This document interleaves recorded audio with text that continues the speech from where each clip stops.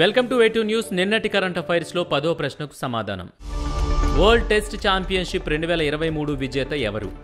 A India B England C Australia D Sri Lanka. సరైన సమాధానం C Australia.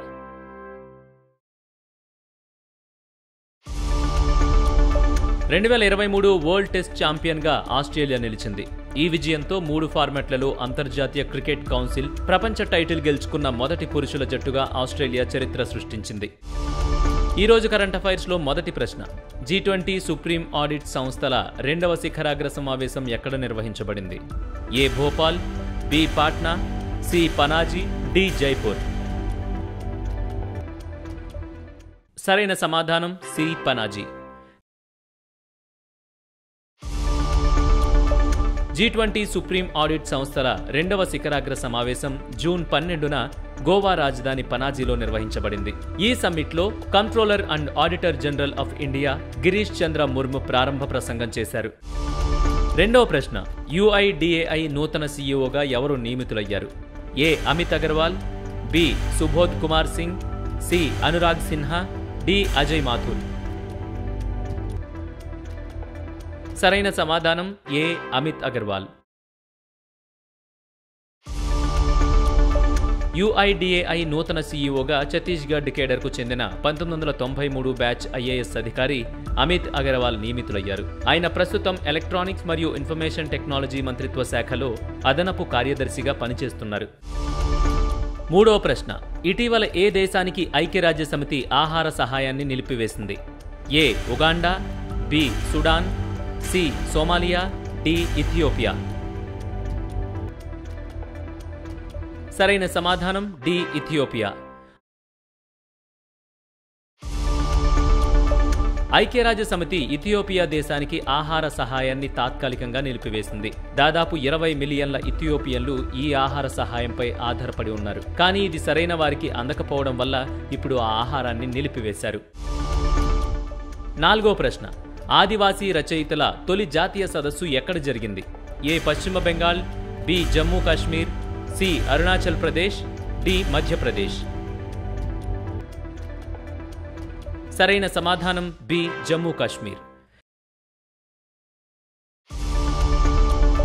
ఆదివాసీ రచయితల తొలి జాతీయ సదస్సు జమ్మూ యూనివర్సిటీ భదేర్వా క్యాంపస్లో రెండు రోజుల పాటు జరిగింది.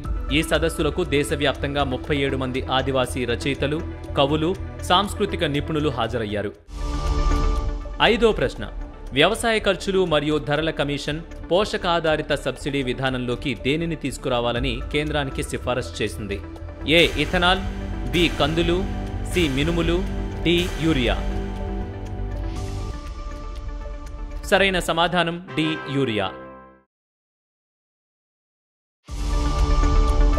యూరియాను పోషక ఆధారిత సబ్సిడీ విధానంలోకి తీసుకురావాలని వ్యవసాయ ఖర్చులు మరియు ధరల కమిషన్ కేంద్రానికి సిఫారసు చేసింది. పోషకాల అసమతుల్యత సమస్యను పరిష్కరించడం దీని ముఖ్య ఉద్దేశం ఆరో ప్రశ్న. సరిహద్దు భద్రతా దళం కొత్త డైరెక్టర్ జనరల్గా ఎవరు నియమితులయ్యారు? A. Shobhan Agarwal. B. Mukesh Karnekar C. Mahendra Mukul. D. Nitin Agarwal. సరైన సమాధానం డి నితిన్ అగర్వాల్. కేరళ కేడర్కు చెందిన పంతొమ్మిది వందల ఎనభై తొమ్మిది ఐపీఎస్ బ్యాచ్ అధికారి నితిన్ అగర్వాల్ సరిహద్దు భద్రతా దళం కొత్త డైరెక్టర్ జనరల్గా నియమితులయ్యారు. రెండు వేల ఇరవై రెండు డిసెంబర్ ముప్పై ఒకటిన పంకజ్ కుమార్ సింగ్ పదవీ విరమణ చేసిన తర్వాత ఈ పదవి ఐదు నెలలకు పైగా ఖాళీగా ఉంది. ఏడో ప్రశ్న సముద్ర జలాలతో హైడ్రోజన్ ఉత్పత్తి చేసే విధానాన్ని ఏఐఐటి పరిశోధకులు కనుగొన్నారు. A IIT Madras B IIT Kanpur C IIT Delhi D IIT Hyderabad. సరైన సమాధానం ఏ ఐఐటి మద్రాస్. సముద్ర జలాలతో హైడ్రోజన్ ఉత్పత్తి చేసే విధానాన్ని ఐఐటి మద్రాస్కి చెందిన పరిశోధకులు కనుగొన్నారు. దీని ద్వారా తక్కువ ఖర్చుతో మెరుగైన ఫలితాలు సాధించొచ్చని వారు తెలిపారు. అధ్యయన ఫలితాలను ఏసీఎస్ ఐప్లెడ్ ఎనర్జీ మెటీరియల్ జర్నల్లో ప్రచురించారు. ఎనిమిదో ప్రశ్న. ప్రపంచంలోనే అత్యంత శక్తివంతమైన హైపర్సోనిక్ విండ్ టన్నెల్ను ఏ దేశం ఆవిష్కరించింది? A China B India C Brazil D Singapore. సరైన సమాధానం ఏ చైనా.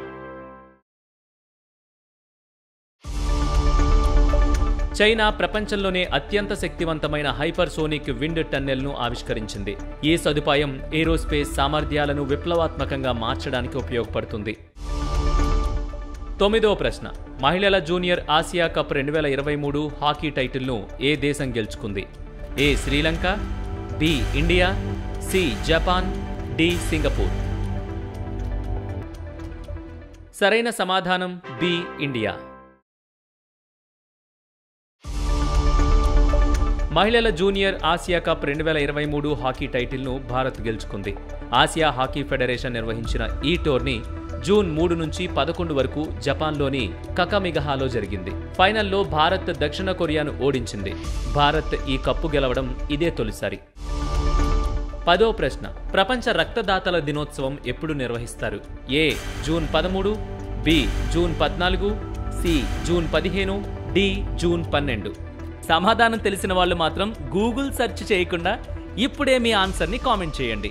రేపటి కరెంట్ అఫైర్స్లో దీనికి సమాధానం నేను చెప్తాను ప్రభుత్వోద్యోగం సాధించాలనే మీ కలకి వేటు న్యూస్ ఎంతగానో తోడ్పడుతుంది. ఖచ్చితమైన వార్తలతో ఎప్పటికప్పుడు మిమ్మల్ని అప్డేట్గా ఉంచుతూ మిమ్మల్ని టాప్లో నిలబెడుతుంది. అందుకే ఇప్పుడే మీ ఫోన్లో ఇన్స్టాల్ చేసుకోండి వేటు న్యూస్ యాప్.